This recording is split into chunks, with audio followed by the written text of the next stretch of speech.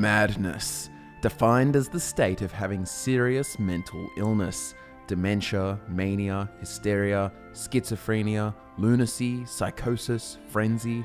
We understand what madness encompasses, but how does that become physical? What makes the curious madness ore different?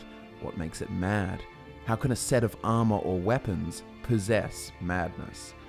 On the channel recently, we have been investigating the strange and peculiar materials which have been used in the creation of fantastical armor all throughout the Elder Scrolls universe.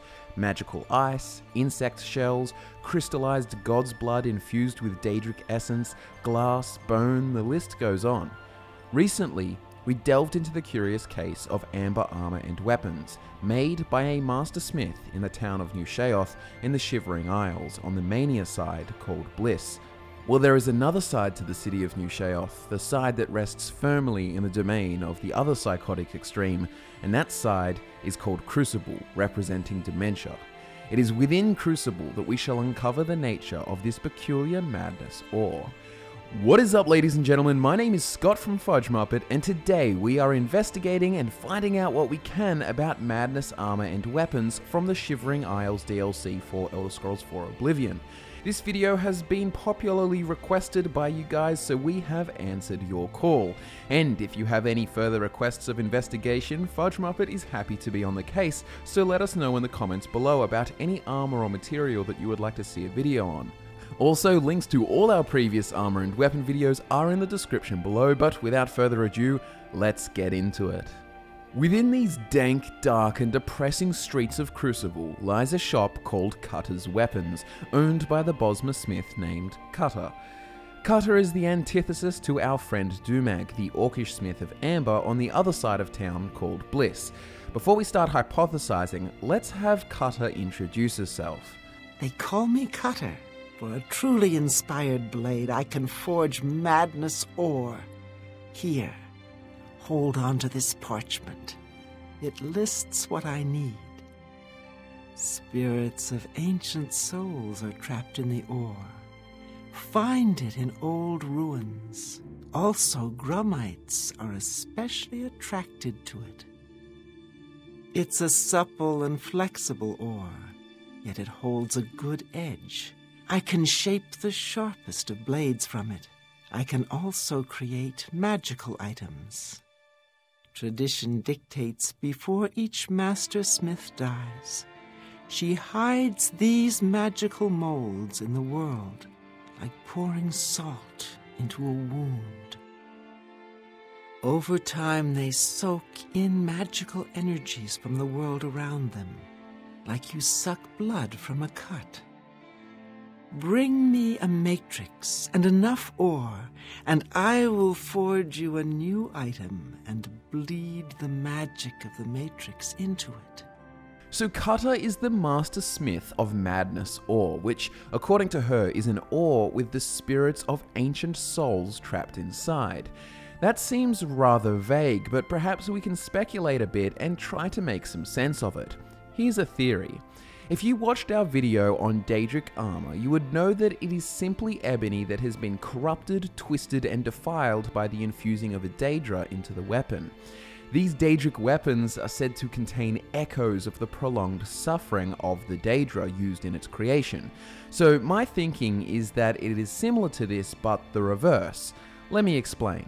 Daedric weapons and armor are made by binding a Daedra to a material from the world of Nirn, whereas Madness weapons and armor are made by binding a mortal soul from Nirn to a material, and ore specifically, from a Daedric realm in Oblivion.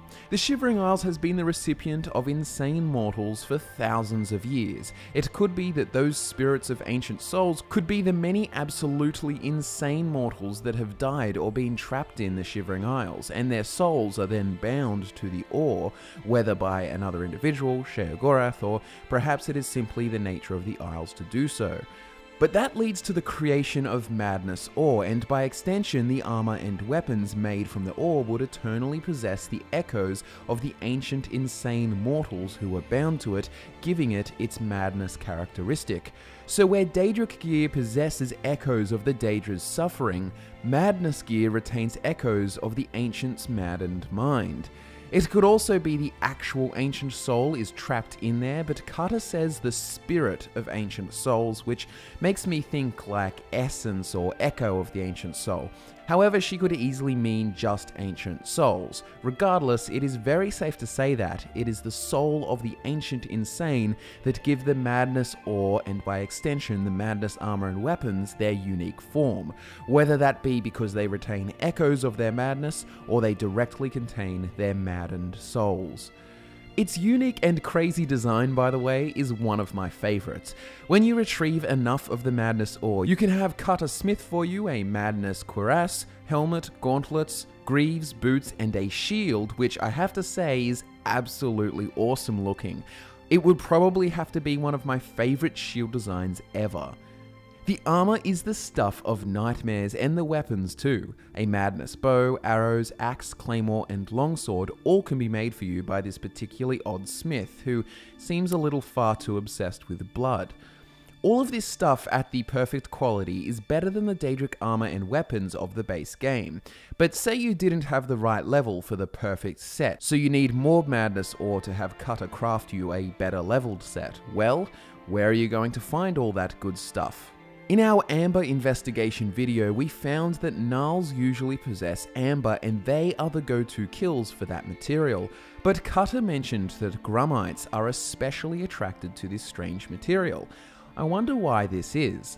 Let's see what we can understand about Grummites and perhaps that will provide some clarity on the topic.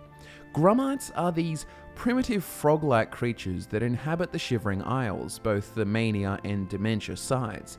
To explain Grummites, the book From Frog to Man by Mikas Ralbreck is the best to read. The life cycle of the Grummite is rather unique. They appear to be a deviant version of frogs and may even be distantly related to Argonians, although I have no direct evidence of that. Like the humble frog, the Grummite is born from eggs found in or near water.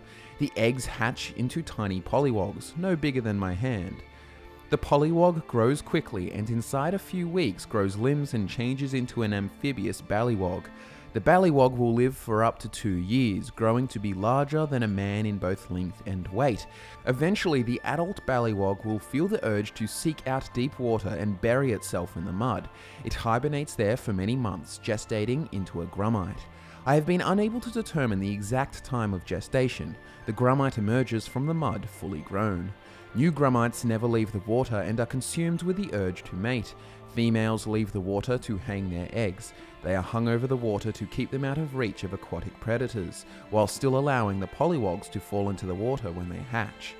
Once a female has laid her eggs, she turns her back on them. She will live her life more on land than in water, although never far from it. The male's mating urges subside after six months to a year.